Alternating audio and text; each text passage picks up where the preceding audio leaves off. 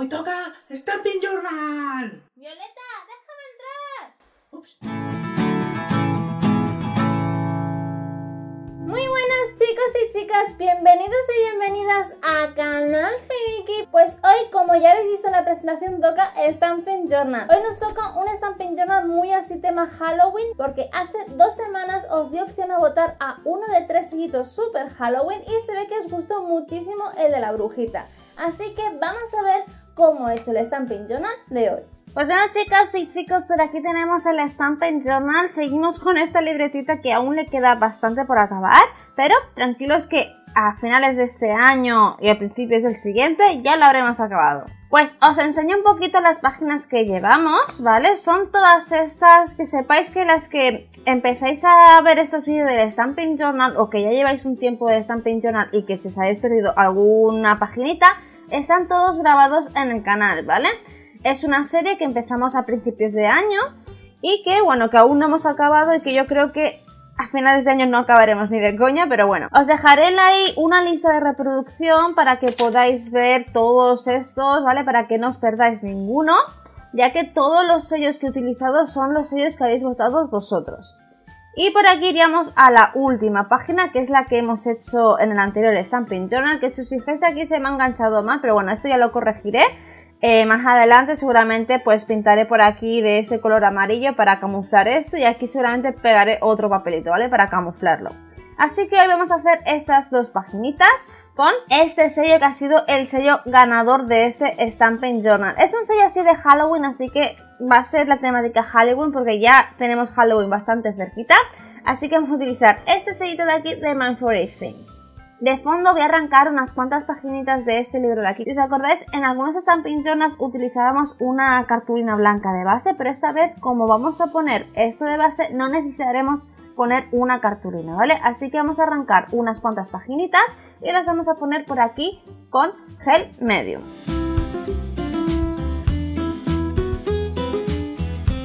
No, voy a quitar esta parte de aquí que es, como ya sabéis, tengo el Journal roto, pero bueno, ya lo arreglaremos más adelante. Pero así me permite trabajar un poco más cómoda. Entonces lo que vamos a hacer, como he dicho antes, vamos a ir pegando estas paginitas por aquí. Seguramente iremos pegando por allí y por allá. Si queréis dejar alguna zona sin recubrir, pues no pasa nada. Yo iré pues pegándolo así un poco, algunas por arriba, otras por abajo, algunas un poco más superpuestas y así, ¿vale? Para que el texto en sí no se pueda leer todo entero, aunque después pondremos capas y capas de cositas y no se verá, pero al menos pues para trabajarnos un poquito más el fondo. Entonces, en este caso, como he dicho antes, voy a utilizar el gel medium, ¿vale? Esto de aquí es de la marca Ranger, ya sabéis que en algunos Stamping Journals he utilizado el Mod Pouch, es más o menos similar, solo que este sirve, bueno, se, se utiliza más o menos para lo mismo, para pegar, para transferir y para fijar cosas. Pero bueno, hoy me apetece utilizar este, no sé por qué, pero bueno, me apetece, así que vamos a utilizar este para que veáis que es exactamente más o menos lo mismo que el Mod Pouch. Así que vamos a coger un pincelito y vamos a ponerle una capita fina por toda la paginita.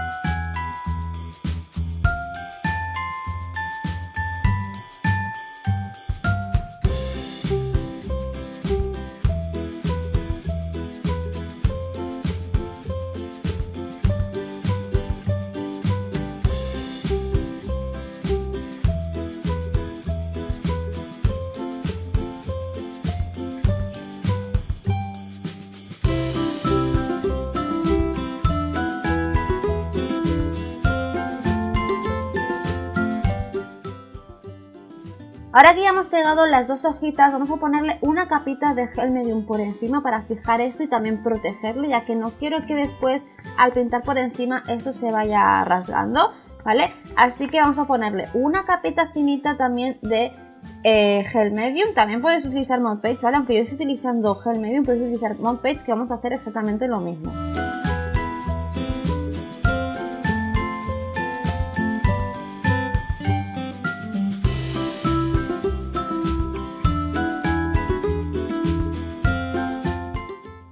También vamos a pegar estas dos paginitas de aquí para dejarlo un poco más, todo más, como más gordito y que quede más resistente.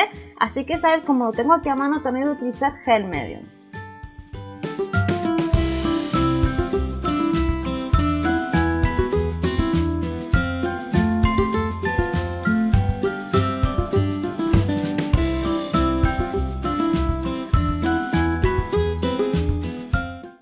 Vale, pues ahora vamos a coger la pistola de calor para pasarle por encima y dejar así el gel medium un poquito más seco.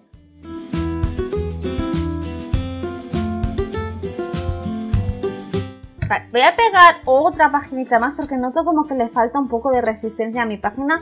Como antes eh, utilizábamos una cartulina, a utilizar este papel tan finito nos falta un poco de resistencia. Así que voy a pegar otra paginita más.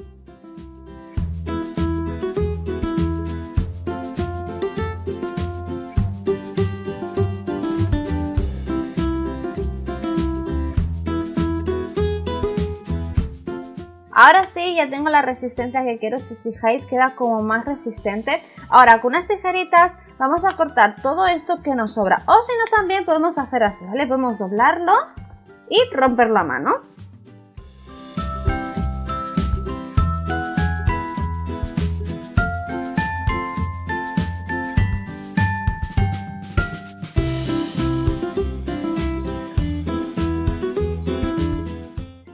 Os fijáis por aquí no se me ha recortado bien, pero bueno, no pasa nada. Ya me gusta así como queda, así como mal recortado. Es, la, es Halloween, así que en Halloween está todo permitido.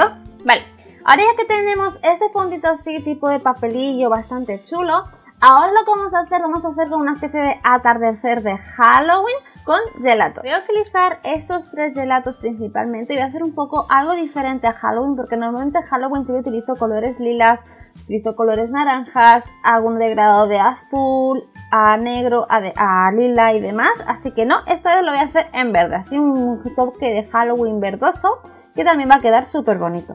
Entonces yo voy a utilizar estos tres gelatos, tengo aquí este de aquí que es el de pistacho, el green tea y el chocolate, ¿vale? Para darle así un contraste de estos tipos de colores que va a quedar también muy chulo. Entonces voy a empezar con este color de aquí, el marrón, que lo voy a utilizar para los bordes, para oscurecer los bordes, ¿vale? Así que voy a hacer así, en, los bordecitos, voy a así mal pintar, ¿vale? Y ahora con el dedo lo iremos difuminando.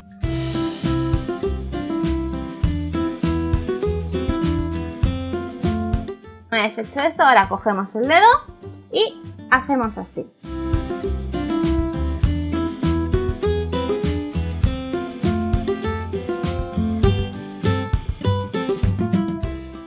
Un toquecito así, damos este toque súper envejecido que queda muy chulo. Y ahora vamos a utilizar este de aquí, que es un tonocito como un color verdoso militar, que también nos va a quedar súper bien. Entonces lo vamos a interponer por encima de el marrón y vamos a hacer así también.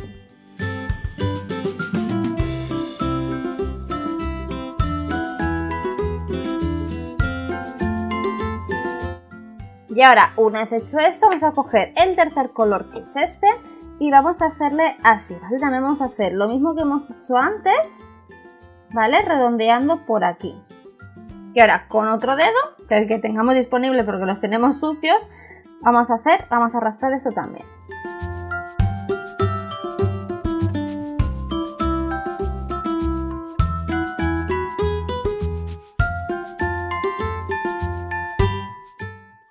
Vamos a utilizar otra vez el marrón para darle un toquecito por aquí, solo por el borde. Vamos a hacer así.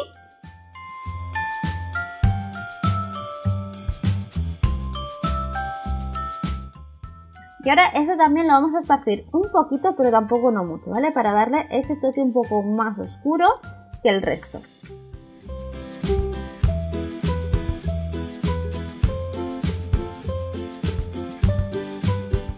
Una vez hecho esto, el fondito nos quedaría así, pero vamos a trabajar un poquito más en el fondo. Mi idea principal en este Stamping Journal es hacer como una especie de campo de calabazas, entonces haremos así como una especie de montañitas entrevesadas, sale una por aquí, otra por aquí y otra por aquí, para después ir complementándolo con calabazas. Entonces voy a coger un lápiz y voy a dibujar por dónde van a ir esas calabazas. Por ejemplo, por aquí va a haber una montañita, por aquí va a haber otra y seguramente por aquí va a haber otra, ¿vale? A ver si puedo, bueno, no lo veréis mucho porque encima de los gelatos el lápiz no dibuja, pero bueno, ahora os lo repasaré para que lo veáis mejor. Vale, Voy a utilizar en este caso esta pintura aquí, que es una pintura acrílica, que es de Martha Stewart. La verdad es que esta pintura acrílica a mí me encanta porque tiene mucha recobertura y además tiene unos colores súper bonitos. Así que vamos a coger aquí una paleta y vamos a ponerle un poquito. ¿Vale? Una cosita así. Y con un pincelito tal como este vamos a coger un poquito de color y vamos a ir poniendo pintura por esas partes que hemos eh, dibujado con el lápiz, ¿vale? Que no veis mucho, pero que yo lo veo a la perfección. Así que vamos a hacer así. Si os fijáis recubre muy bien, pero se sigue viendo un poquito por debajo el texto. La verdad es que esto no me molesta nada, me gusta, ¿vale? Así que me va perfecto porque así se ve un poquito el texto de abajo. Pues vamos a ir recubriendo así en todas las montañitas.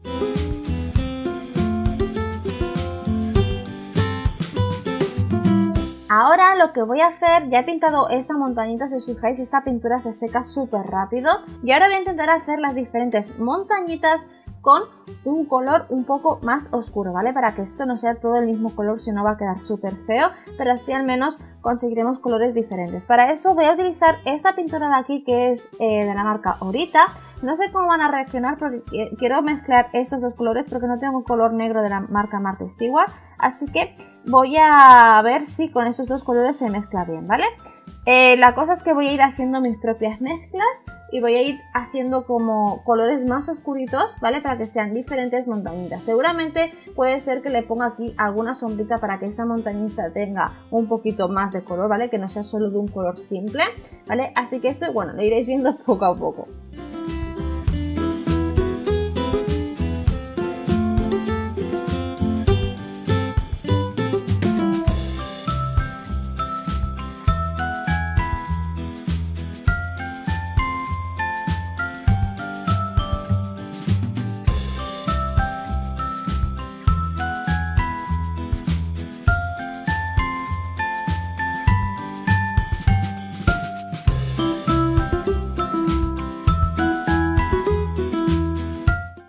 Por aquí tenemos lo que son las montañitas, pero en noto, ¿vale? Lo noto que me pasa un poquito con el color. Así voy a utilizar una toallita húmeda para quitarle un poco el color.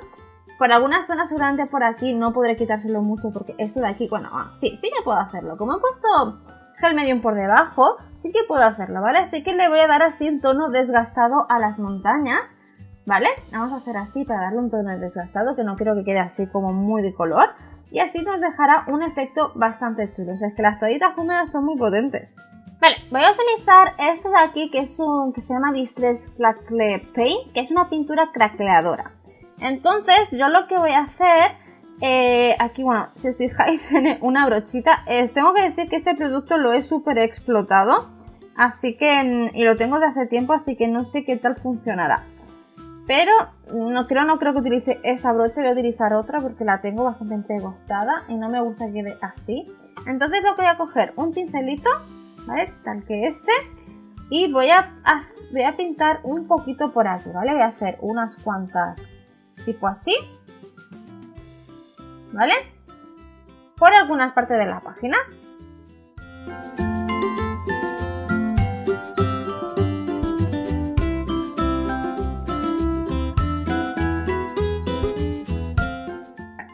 Ahora, no haya puesto este producto, lo voy a cerrar y vamos a secar esto con la pistola de calor.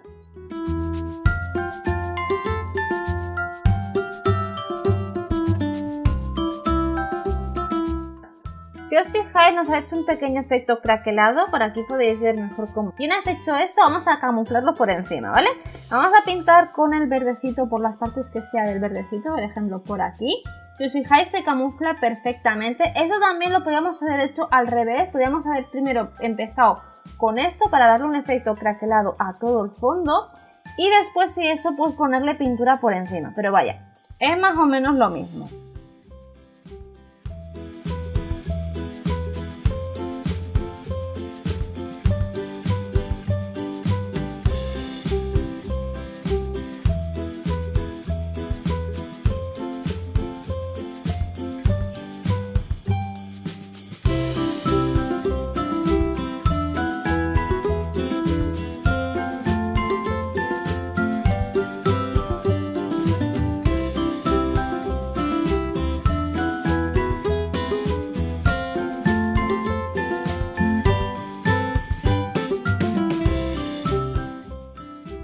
Después de haber aplicado capas y capas y capas de gelato, si os fijáis por algunas partes nos va a quedar craquelado y la verdad es que no me disgusta cómo queda. Aquí, bueno, aquí esto solamente lo taparé con una muñequita. Vale, de momento el fondo se va a quedar así, después ya veré si hago algo más o algo, de momento se va a quedar así. Así que ahora vamos a pintar sellos. Como ya os he dicho antes, los sellos ganadores han sido estos de aquí de My Favorite Things. Este en concreto, por si acaso lo queréis buscar, se llama Which Way Candy. ¿Vale? Eh, son unas sellitas como podéis ver con muñequitas bastante chulas, con, bueno, diferentes sellos que seguramente utilizaremos todos los sellos. La, rana, la rana no me encaja mucho, pero bueno, quién sabe. Yo lo voy a pintar por si acaso y después ya veremos.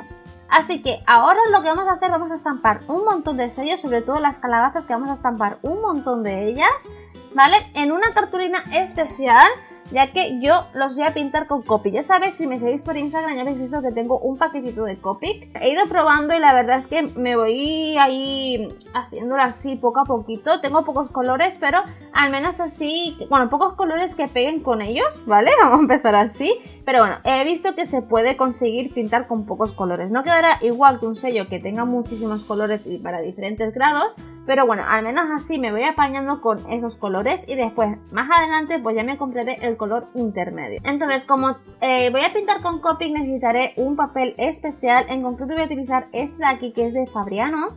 Y en sí, la única diferencia que tiene con los otros es que tiene un gramaje más elevado y que tiene la superficie, como podéis ver, una superficie súper lisa, ¿vale? Esto me va a servir para pintar Copic. Es la, es la última página que me queda porque antes utilizaba esto para pintar con los Chameleon, pero bueno, la voy a arrancar. En este caso, como voy a pintar con Copic, voy a utilizar esta tinta de aquí que se llama Memento, que es ideal para pintar con este tipo de rotuladores a base de alcohol. Es similar al Archivalink, ¿vale? Es un color negro. Lo único que cambia es esto, ¿vale? Que con el Archivalink es waterproof esta no es waterproof, por lo tanto con la Archivalink pinto los sellos que son, utilizo materiales a base de agua como acuarelas, las tintas distress y este lo utilizo para pintar eh, sellos a base de alcohol, porque en sí los Copic con la Archivalink corre la tinta, ¿vale? Y están. Así que voy a utilizar esta superficie porque voy a estampar todos los sellos de golpe, así de loca voy a ir. ¿vale? Voy a escoger algunos sellitos, bueno, las brujas, que vamos, está súper clarísimo, si no, yo creo que si no escojo la bruja, yo creo que me matáis. Voy a poner también el murciélago, ¿vale? También voy a utilizar el gatito y también las calabazas, aunque las calabazas seguramente las iré repitiendo. También voy a utilizar, en si os fijáis voy a utilizarlo todo. No sé si, sí, voy a utilizarlo todo esto también y las nubecitas. Durante las nubecitas también las repetiré, repetiré. Es decir, que voy a estamparlo todo, pero sin las frases de sentimiento. Entonces esto de aquí voy a poner tinta por todos los sellos.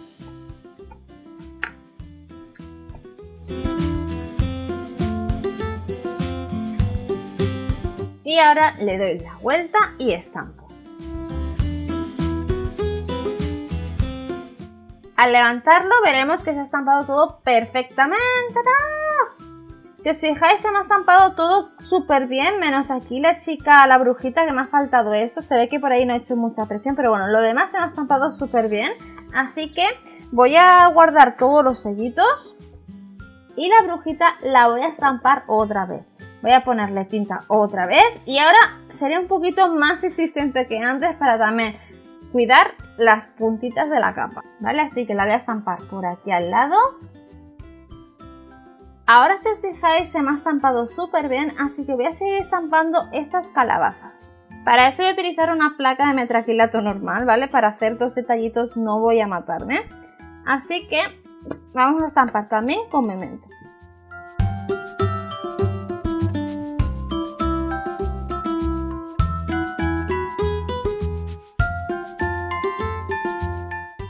Vale, pues ya me he estampado, como podéis ver, toda una lámina de sellos para pintar. Este no lo voy a pintar, todos los demás sí. Así que voy a utilizar en este caso los Copic, que son unos rotuladores a base alcohol, que la verdad es que dejan unos trabajos súper bonitos si los sabes utilizar bien, ¿vale? No sé cómo van a salir porque no tengo mucha experiencia con los Copic, pero hay que practicar. Así que me hará gracia cuando vea mi Stamping Journal de aquí a mucho tiempo con los eh, sellos pintados con estos Copic de aquí, porque seguramente pues iré mejorando. A mí mi pareja me regaló esta cajita de aquí, que es de 36 colores, que es la cajita C. Hay más cajitas, la A, la B, la C, no sé si hay alguna más, ¿vale? Que vienen todos estos colorecitos de aquí, ¿vale? Son 36 colores. Así que no os voy a explicar mucho cómo se pintan con ellos porque la verdad no tengo mucha experiencia, pero vais a ver cómo los pinto.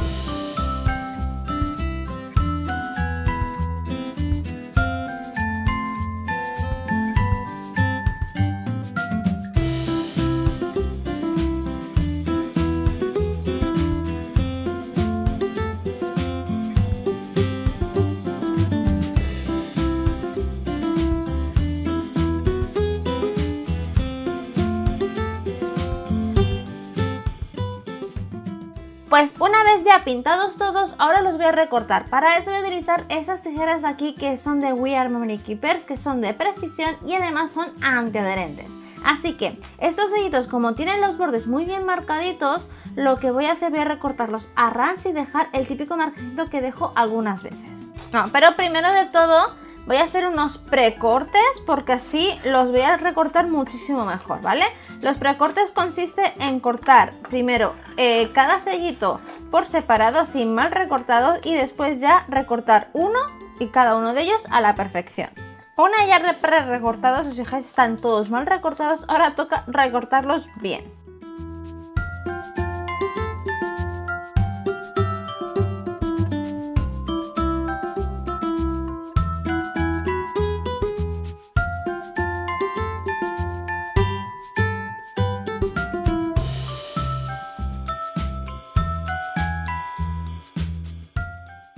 Pues por aquí ya tenemos todos los elementos recortaditos. La verdad es que me he tirado un buen rato recortándolo, pero por fin ya tengo todos los elementos recortaditos. Veis muchos elementos, pero yo lo he probado encima del Stamping Journal. Me va a quedar súper chulo, va a quedar un poco así muy calabaza, pero la verdad es que va a quedar muy bonito. Vale, pues esto lo apartamos y ahora vamos a seguir trabajando un poquito con el fondo. La idea que en el fondo es esta nube que esté por esta parte de aquí. Por lo tanto, esta parte de aquí la voy a aclarecer un poquito. Voy a utilizar esto de aquí que es un papel de enmascarar para estampar. Es decir, que son unas hojitas en las que tú estampas, lo pega y sirve para enmascarar esa zona. La idea de esto es hacer una clarez alrededor de la luna, ¿vale? Para eso lo que voy a hacer, voy a estampar otra vez la luna en este papel de aquí. Vale, yo una vez estampada la voy a recortar.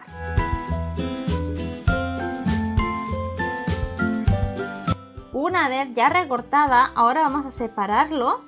Para eso vamos a quitar la pegatina de atrás, es decir, el precinto este. Y esto será lo que pegue. ¿Vale? La vamos a pegar, como ya he dicho, por esta parte de aquí. Y ahora esto lo vamos a aclarar un poquito. Para aclararlo voy a utilizar una esponjita y me voy a llevar un poquito del fondo, ¿vale? Pero nada, un poquito por alrededor. Veréis que esta marca le cuesta un poquito pegarse, pero bueno, la verdad es que se tendría que haber pegado, pero le cuesta un poquito, ¿vale? Con esto lo que haré es quitar un poquito el color de alrededor, ¿vale? Que si lo levanto quedaría como así. Y ahora voy a seguir trabajando en él porque le voy a poner una capita blanca por encima. De blanco voy a utilizar este de aquí que es una tinta que se llama Hero Arts, que es, bueno, es de la marca Unicorn, Hero Horse, como lo queráis llamar, que cuesta un poquito saber la marca en sí de la tinta con tantos nombres. Y este es de color blanco, pero es un color blanco muy potente. Entonces yo voy a utilizar en este caso una esponjita que voy a ir cogiendo color, como podéis ver, y voy a ir haciendo así alrededor. Voy haciendo así porque no quiero que me quede como muy color por allí, pero voy a ir haciendo así. Voy haciendo así por algunas partes más, por aquí, por allá, para darle así un efecto de niebla. Algunas partes, ¿vale? Tipo así. Por aquí voy a insistir un poco más para quitarle el color blanco. ¿Vale? Por esta parte de aquí y por esta parte de aquí, ¿vale? Solo un poquito quiero darle. Ahora queda así un poco tipo de ensueño y demás. y mi luna iría por esta parte de aquí. Pero claro, la luna esa falta que destaque un poquito más y hacerla un poco así tipo más Halloween. Así que la voy a pintar amarilla. En este caso voy a utilizar también Copic, este amarillo, ¿vale? Y voy a intentar hacer un degradado con este amarillo más oscuro y con un amarillo más claro.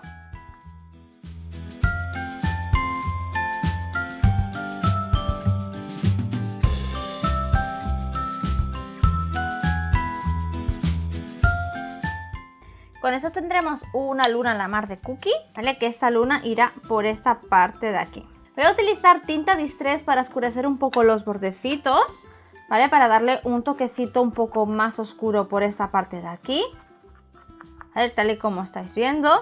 Para, más que nada para envejecerlo y que quede eh, los bordecitos un poco más oscuros.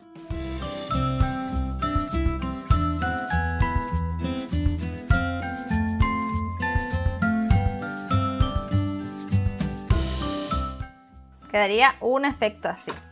Ahora vamos a empezar a hacer un poco la composición, ¿vale? Y después ya iremos moviendo cosas y demás, ¿vale? La composición, la verdad es que tengo que decir que es bastante chunga. Mi muñequita iría por esta esquinita de aquí, ¿vale? Justo por allí. Este de aquí iría por aquí, en plan colgando y demás. Porque no sé si hacerlo que esté volando. Yo creo que si lo voy a hacer que esté volando, queda mucho más cookie. Y el gatito lo voy a poner por esta parte de aquí. ¿Vale? Justo por aquí. Ahora, toda esta zona va a ir lleno de calabazas, ¿vale? Y también la rana. Así que vamos a ir llenando esto de calabazas. Voy a ir combinando de pequeñas con grandes y también de diferentes colores. Van a ir unas encima apiladas encima de otras, como si estuvieran como amontonadas.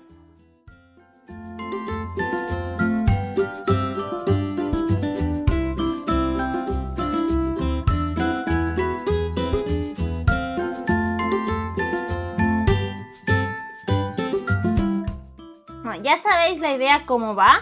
Lo voy a quitar todo porque voy a aprovechar para pegarlo porque si no vamos a tardar el doble. Así que ya más o menos ya ves viendo la idea que esto irá como lleno, lleno de aquí de calabazas. Seguramente pondré alguna por aquí, no lo sé aún para que esto esté un poco más compensado, pero bueno, ya veremos, ¿vale? Más o menos este Stamping Journal va a ser así. Así que esto lo voy a quitar y vamos a utilizar gel medium para pegar uno a uno cada calabaza.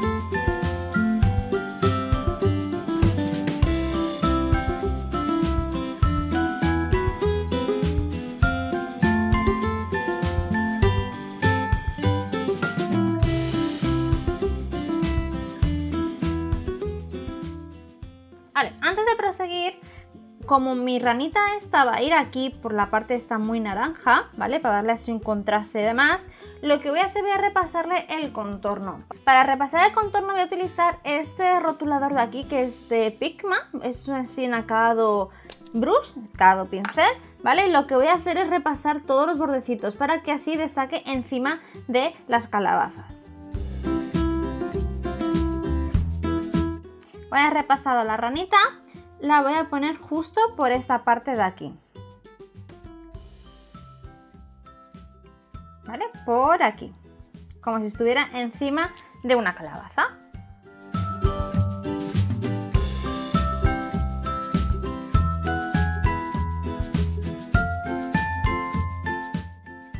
Y ahora sí voy a seguir pegando el resto de los componentes.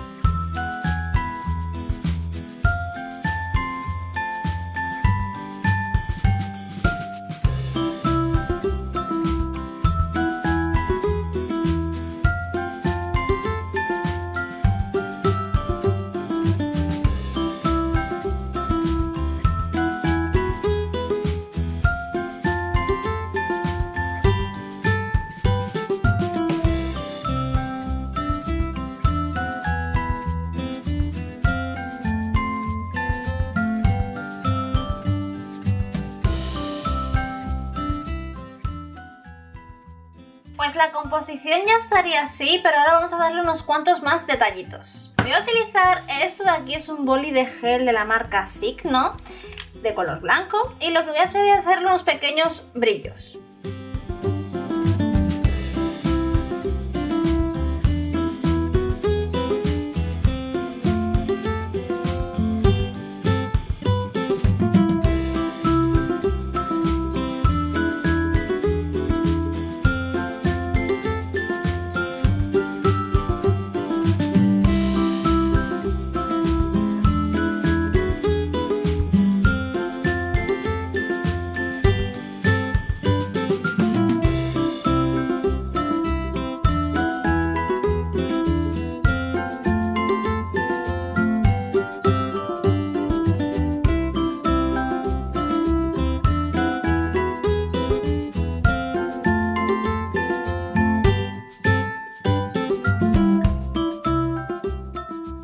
Pues una vez que ya hemos acabado ya con el boli blanco, yo por aquí al final, si habéis fijado, lo había puesto, pero al final lo he quitado con una toallita húmeda. Lo bueno de este boli que al ser así que tarda en secarse, con una toallita húmeda podemos corregirlo sobre la marcha, así que esto va súper bien. Vale, ahora ya que tenemos esto, vamos a pensar en un título. Pues ya tenemos por aquí el fondito y todos los sellos ya estampaditos, pegaditos y todo así, la composición tan chula que nos ha quedado. Ahora vamos a poner el sentimiento. Para el sentimiento yo voy a utilizar este sello de aquí, que es un sello de Kaiscraft, que lo tengo de hace un montón de tiempo, así que voy a estampar el sentimiento por aquí. El sentimiento será un Happy Halloween, voy a intentar que me quepa aquí, pero ya veréis que no va a ser posible, seguramente haré un Happy y Halloween aquí. Y después, depende cómo me quede, quiero poner este sello de aquí estampado por algún lado, que es el de I'm Under Your Spell, es decir, que estoy bajo tu hechizo. Que ahora se queda muy bien para la temática que es. Así que esto lo voy a estampar con esta tinta de aquí, la Archival Ink, ¿vale? Una tinta que ya conocéis, que utilizo mucho Stampin' Journal. Y en esta era raro que no parecía, así que ha aparecido a casi al final del Stampin' Journal. Vale, voy a utilizar una placa de matraquilato y voy a ir estampando poco a poco en sí la frase. Antes que nada, antes de seguir, porque si os fijáis me va a quedar súper oscuro si pongo Happy Halloween, entonces voy a coger una toalleta húmeda y voy a aclarar esas partes, ¿vale? Voy a hacer así Voy a poner el título por aquí, después ya veré la otra frase me la pongo, pero por lo menos el título va a quedar aquí, va a quedar bastante chulo, que queda así bastante clarete. Así que ahora sí, vamos a ello.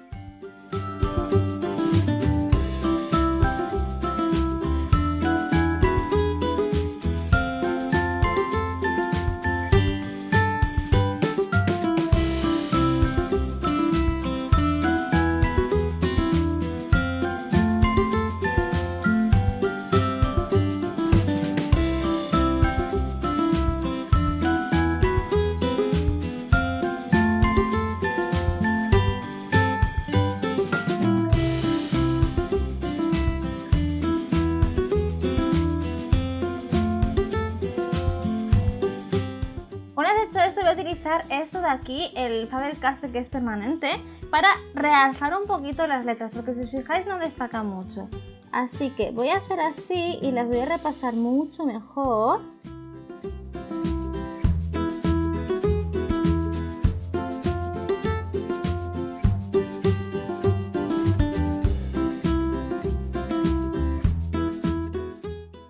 Y también voy a repasar eso de aquí.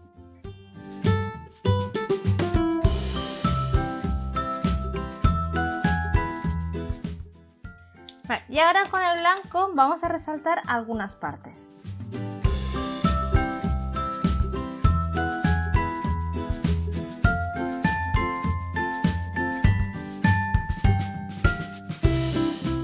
Y con esto nuestra paginita de este Stampin' Journal estaría lista.